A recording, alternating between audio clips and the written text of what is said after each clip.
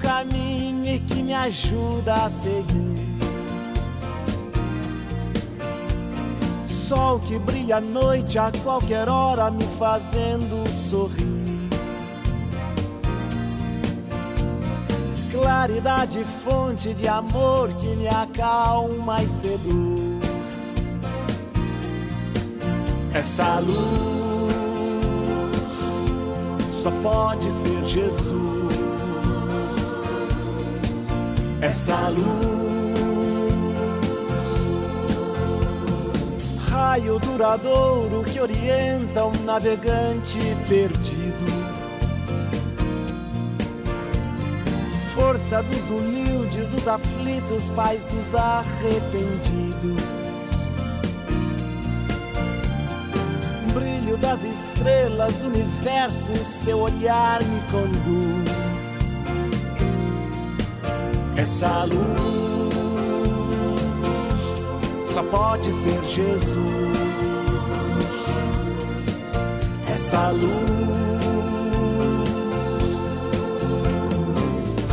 sigo em paz no caminho da vida, porque o caminho, a verdade e a vida é você. Por isso eu te sigo, Jesus, meu amigo. Quero caminhar do seu lado e segurar sua mão. Mão que me abençoa e me perdoa e afaga o meu coração. Estrela que nos guia, luz divina, o seu amor me conduz. Essa luz só pode ser Jesus. Essa. Luz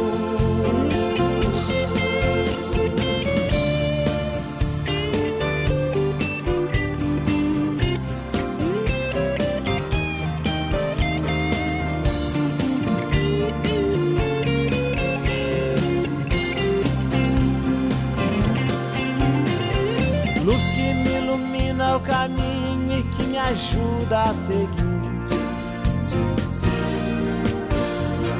Sol que brilha à noite a qualquer hora, me fazendo sorrir.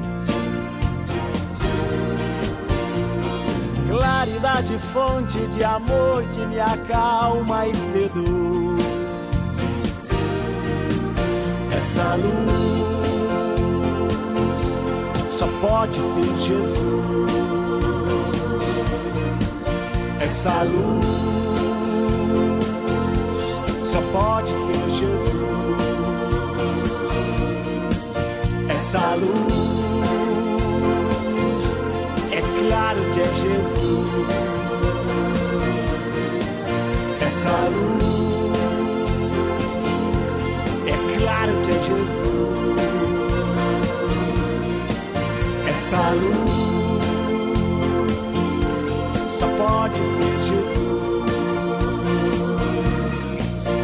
Essa luz.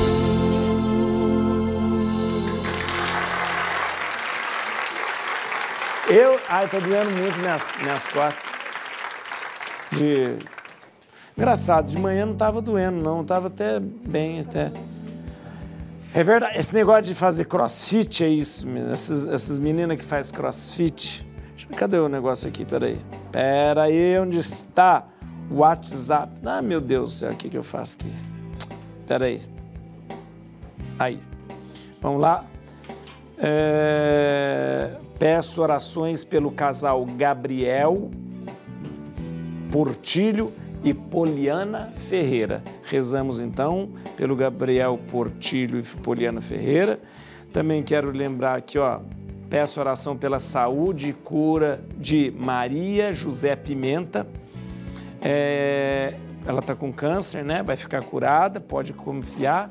E por minha saúde, eu sou diabética, tenho muitas dores nas pernas e por toda a minha família. É, minha família uh, e paz. É... Boa tarde, Pajuarez, sua bênção. Eu sou a Lourdes, eu moro em Cachoeiro do Itapemirim, Espírito Santo. Peço oração pelo nosso país. A situação está muito difícil. Que a luz divina venha sobre os nossos governantes, é verdade. Gente, tá feio o negócio mesmo. Nossa, eu estou vendo como que tá é, os postos, o abastecimento, o negócio está feio. Vamos ver aqui também mais aqui, ó. Boa tarde, Padre Juarez. Por favor, reze pelo meu, meu irmão. É, ele está com câncer na laringe. Ele precisa de uma vaga no INCA, no INCA Instituto do Câncer, né? Ele no momento, no momento é, está na UTI do Hospital de Cardiologia em Laranjeiras. Ele precisa ir para o INCA com urgência para ser operado, porque já está é, precisando. O Hospital de Cardiologia não tem vaga e ele não consegue ficar lá sem o respirador. É... Aqui que está pedindo, ó, Fabiano Raimundo Rodrigues, Maia, do Rio de Janeiro. Rezamos então pelo Fabiano e rezamos aqui para que consiga logo essa vaga, viu? É, não, colocou, colocou aqui mesmo. É, eu quero sua bênção, Padre Juarez, reza pela minha família, meu esposo Roberto Lopes dos Santos, esposa Ebenice da Silva Lopes dos Santos e meu filho Cauê Arthur Lopes dos Santos. Bragança Paulista, bairro Jardim São Miguel. Mais um pedido aqui, deixa eu ver aqui. Boa tarde, Padre Juarez, sua bênção, eu sou Jailza e moro em Acupê, Santo Amaro, na Bahia. Por favor, reze por minha família e pelo meu filho Gustavo, todos os meus sobrinhos e todos os jovens da minha comunidade. Vamos colocar aqui em oração, principalmente rezar por eles, da sua família e por todos os jovens. A gente reza sim, com certeza. Seu pedido é uma ordem.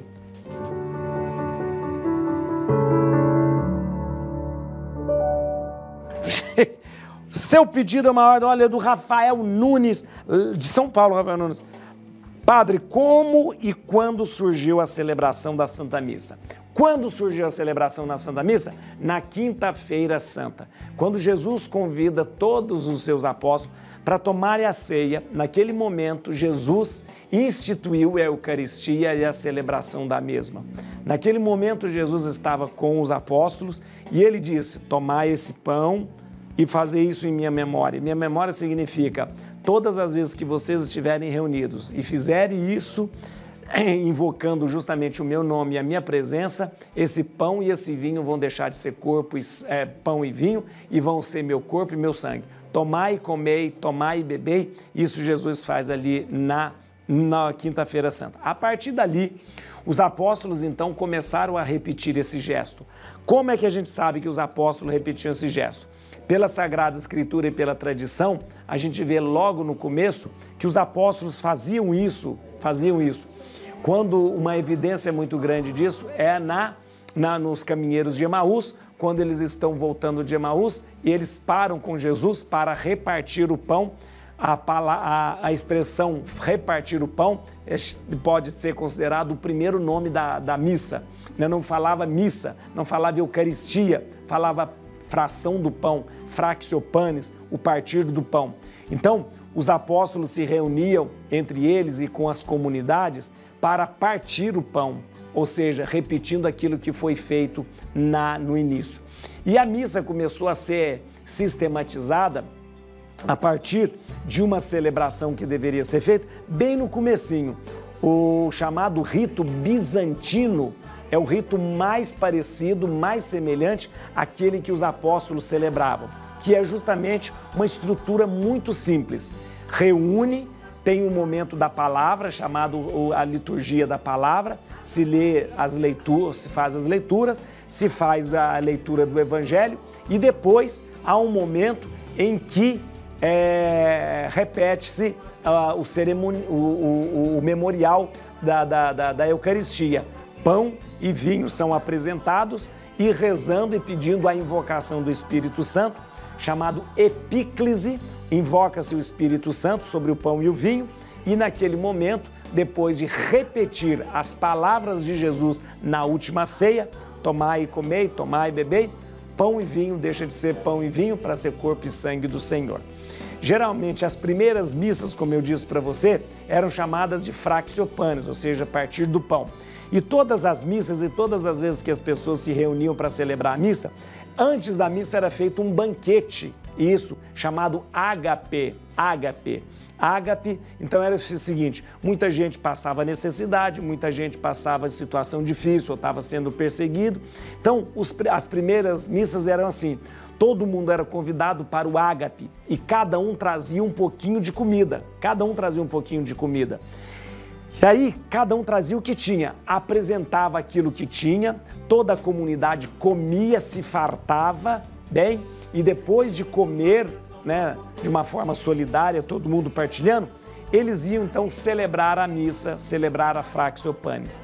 Quem geralmente presidia era aquele que tinha sido é, é, colocado por Jesus ou pelos apóstolos. Veja uma coisa importante para você entender. Quando Jesus escolhe 12 apóstolos para que eles recebam o mandato de celebrar a missa, de continuar e recebe naquele momento a, a, a, o sacramento da ordem, Jesus está dando para os apóstolos o encargo de fazer isto acontecer, fazer isto em minha memória. Os apóstolos morreriam depois. Assim, então, eles tinham que escolher outros para que pudessem continuar a missa. E assim, a igreja caminha desde aquele tempo com uma ordem, ordem sucessória, ou seja, Jesus escolhe os apóstolos, os apóstolos escolhem os bispos, os bispos escolhem os outros, que escolhem os outros, que escolhem os outros, e vai chegar em mim, ou nos padres. Eu fui ordenado e eu fui ordenado por um bispo, que foi ordenado por outro bispo, que foi ordenado por outro bispo, que foi ordenado por outro bispo, seguindo até lá atrás, há dois mil anos atrás, que foi ordenado por um apóstolo que recebeu de Jesus. Isso chama sucessão apostólica. Então preste atenção, o nome ordem vem justamente disso, de colocar numa ordem, ordem significa organizar um atrás do outro, né? Vamos colocar em ordem isso aqui? Ah, coloque em ordem esses livros. Aí você bota os livros um atrás do outro, assim, tá, tá, tá, tá, tá, tá, tá. Ordem significa isso. Essa sucessão apostólica que começa lá em Jesus e vem vindo. Nunca, a Igreja Católica nunca rompeu a sucessão apostólica. O que eu faço aqui, celebrando a missa, foi aquilo que Jesus pediu para os apóstolos, que deu para os bispos, que deu para outro bispo, que deu para outro bispo, que deu para mim. Entendeu? Sucessão apostólica garantida por uma linha ininterrupta desde Jesus. Ah, não. Então nós temos três graus do sacramento da ordem. Sacramento, aí a ordem se transformou em um sacramento. Então nós temos três graus o grau, e é uma hierarquia. O primeiro grau é, o, é diácono, diácono. Segundo grau, é, presbítero, que é o padre. E o terceiro grau, o é, bispo. Terceiro grau é bispo. Na Igreja Católica só existe três hierarquias, não existe mais do que isso. Três hierarquias: diácono, padre e bispo. E é hierarquia mesmo. O, o diácono está nesse ponto, o padre está aqui e o bispo está aqui. Hierarquia para ser observada. O bispo tem os três graus da ordem sacerdotal. Eu tenho dois graus da ordem sacerdotal, diácono e padre. E o diácono só tem um grau da ordem sacerdotal. Né? O é isso mesmo. O Papa, o que, que o Papa é? O Papa é meramente um bispo de Roma. É um bispo de Roma. E a igreja tem por costume de que o bispo de Roma seja o líder da igreja. Então, o Papa, o que, que ele é? Bispo. Bispo como Dom Dilo, bispo como Dom Fernando, bispo como Dom Múcio, é bispo. Só que ele é bispo de Roma. Para nós, o bispo de Roma é o líder de toda a igreja. E quem escolhe o bispo de Roma é um conselho de cardeais. Um conselho de cardeais. Então, os cardeais se reúnem e escolhem. Nós queremos como bispo de Roma o, o Jorge Bergoglio, ah, então ele vai ser o bispo de Roma agora. E quando ele se torna um bispo de Roma, ele se torna um apelido que a gente dá de Papa. Papa. E a palavra Papa, ela pode ser ela pode significar é, papa, um jeito carinhoso de chamar, de chamar o papa como papai, o jeito que o italiano geralmente chama. Tem gente que diz que papa é Petrus apostoló, não, é Petrus apostoló, é, Pedro, príncipe dos apóstolos. Petrus apostoloro, príncipe. Meu, o que, que é outra coisa? Não sei. Ah, só sei que Papa é uma maneira, não é essas coisas que eles inventam, primo interpare, primos interpares. Mas o negócio é o seguinte: Papa é uma maneira carinhosa da gente chamar o bispo de Roma e o bispo de Roma que é o líder da igreja. É, é, é, eu falei para você do Papa, Papa é o jeito carinhoso, mas tem gente que gosta de falar que Papa, P-A-P-A, Pedro, apóstolo, príncipe dos apóstolos. Mas não é verdadeiro também, não estou falando, não é, verdade, não é isso. Não é verdade, não é? Isso é uma... uma um, é, Papa é, papa, é papaizinho, é o jeito. Ele é bispo de Roma e a gente chama meu, meu papaizinho. Mas é só para ficar mais pomposo, assim, Pedro, no apóstolo. Mas não é verdade isso, não. Gente, olha aqui, mais uma oração aqui. Peço oração pela minha família, pelo meu namoro, que dê tudo certo para nos casarmos e que nada de ruim aconteça é, comigo, é, conosco. Peço oração também para toda a família do meu namorado. Não colocou o nome, deixa eu ver aqui, ela aqui, é, mas não tem problema não. Padre Juarez, boa tarde, eu sou do Rio de Janeiro. É, peço que o senhor reze por mim, pois acho que a minha, de, é, pois acho que a minha depressão e ansiedade e síndrome do pânico estão voltando. Hoje eu estou sentindo um monte de coisa, estou vendo o seu programa. Por favor, reze por mim. Meu nome é Sônia, me dê sua bênção. vou rezar muito por você, Sônia, mas tem certas coisas que a gente tem que tomar cuidado. Primeiro, Síndrome do pânico, ataque de pânico, é uma coisa que tem que ser tratada com muito, muito cuidado, com remédio, com medicamento. É, nós temos também a crise de ansiedade, que é diferente de síndrome do pânico. Crise de, porque às vezes a pessoa confunde tudo, acha que tudo é a mesma coisa. Crise de ansiedade é diferente e um pouquinho, e a depressão que está ligado muito à questão da síndrome do pânico. Por favor, não deixe de tomar os remédios se você já toma e não deixe de ir ao médico se você ainda não foi, tá certo?